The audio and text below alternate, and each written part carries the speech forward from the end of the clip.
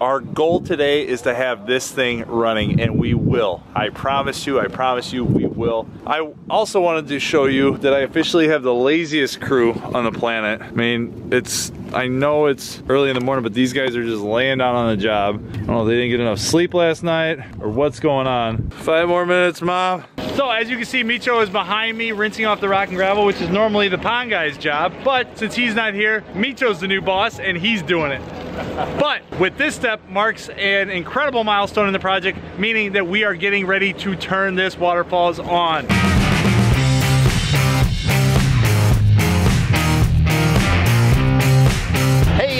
Team Aquascape. It's Saturday. and I've got two out of the three of my kids here with me out at our Palos Park job, having a blast. Matt's not the camera guy, but he is a hard worker, and that's why he's out here with me. He also brought his younger sister, Matt, has been in charge today, kind of cleaning up, keeping the job site clean. I think he's having fun because, let's, well, let's go show him what you did. What is that? What is that? Well, that's one way to keep the job site clean. Let's go see what your sister's up to, okay? Oh, and what are you doing today? I'm riding the You're doing what? riding the driver's Oh, you're gonna be the operator. All right, Matt, meet us over there by Mitro, okay? We're gonna strap up a boulder and set it. I think Mother Nature really, really, really wants us to do this job because it is as beautiful as can be outside right now. It's 75 and it's middle of November, so kind of crazy. But you can see behind me, we're uh, getting things dug out for the pond. It's gonna be a three foot deep pond. Our bog filter here on the side, so this has all been dug. You can see the notch out for the snorkel and then the centipede, and then we'll uh, get the AquaBlox, our rock and our gravel. Now the top of the bog, what's kind of interesting about this bog filter is the top of the wetland bog filter is actually at that level there, which is about 18 inches below water level. I didn't want to bring the bog out in here, so it's actually gonna be part of the pond, so the fish could actually swim in through this bog area, which is a little different than we normally do it. But it makes the pond look a little bit bigger, and we ran out of real estate. We just didn't have any more room to put the wetland filter anywhere else. The area I'm standing in here should be really be dedicated for landscaping, and so we wanted to put it right in here. You can see we're getting everything cleaned up. This is generally how we do it. We get one guy in the machine, and then everybody else just kind of comes and cleans up as we move out towards the pond. And the other thing we're gonna have to do with this pond, once we get all this dug out, we're gonna have to build a little bit of a ramp over there just so we can get back in over here to set some of these boulders because we'll never reach from where the machine's at to get into this wall. So we won't get that back edge perfectly cleaned until we're ready. So we're constantly gonna be folding the liner back to drive in and set some of these boulders first and then we'll work our way back out.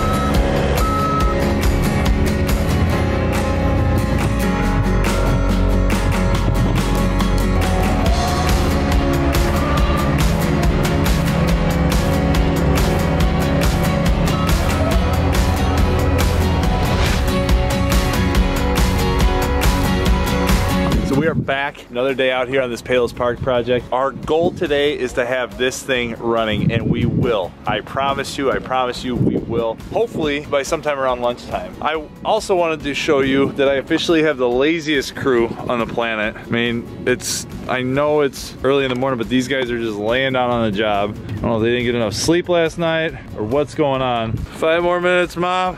But in all seriousness though, and all bad jokes aside, these guys are really getting into their work today. And Matt, Corey, why don't you guys take two seconds and just explain to us what's happening over here? We got a waterfall coming down underneath this staircase. I'm just blocking up right up underneath the staircase. So once that water comes down this waterfall right here, Mm-hmm. we'll get a nice little, Whitewater rapid raceway type of thing, huh? right, right. And then for this area, I'm foaming all in between the rocks. That way the water can sneak through this way. And we're gonna put more cobbles on top to camouflage the foam. Nice. And I'm gonna foam this light right in here so that it stays in place as well. Oh, you got a light down there too?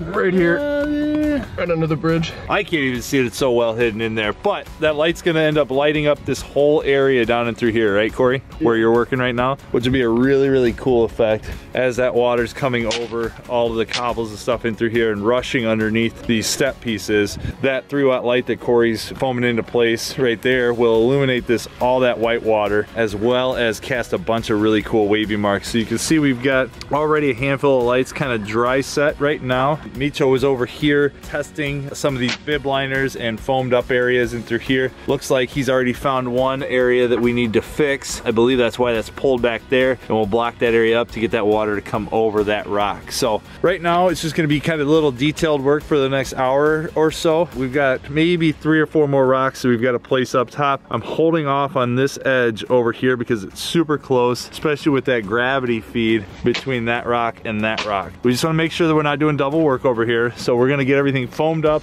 and turn these pumps on, which will be insane to see because I'm super excited to see what the urns and all the different crazy waterfalls that we built is going to look like. But by turning it on, what that'll also allow us to do is make sure that we are going to find any potential leaks or low edges along the different sides of the waterfalls and stream up there. So we're going to test it out. That way, before we turn the keys over to the customer, we know everything is 100% bomb proof. I would rather find the problem than the homeowner find the problem. And I can assume that all you contractors and pond builders out there will feel the same way.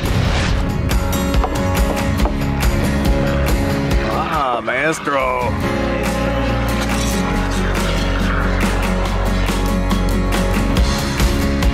Micho, what are you doing over here? You're foaming everything to do, what's the foam even do for the viewers out there? Can you explain it to them? The foam prevents water from seeping through behind the rocks. The reason why I'm using all this fabric over the foam is to prevent it from sponging up and then having trouble covering it with the gravel and stuff like that.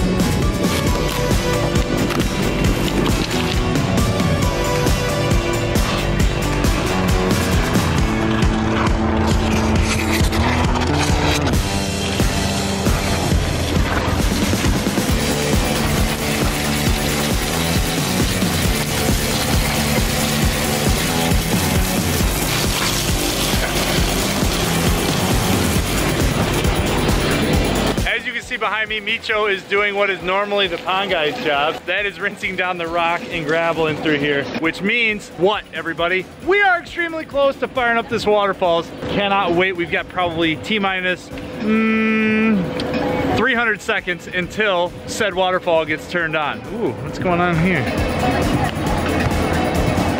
Better. That's better.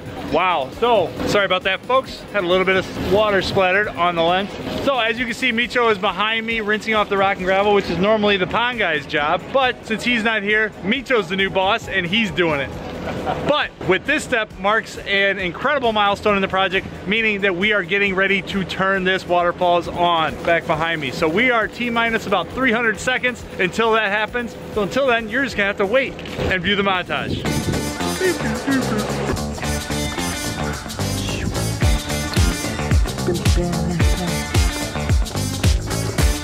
One, two. I don't hear anything.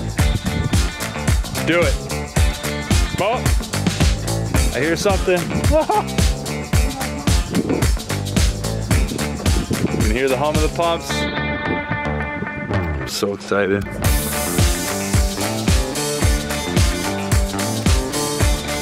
Baby.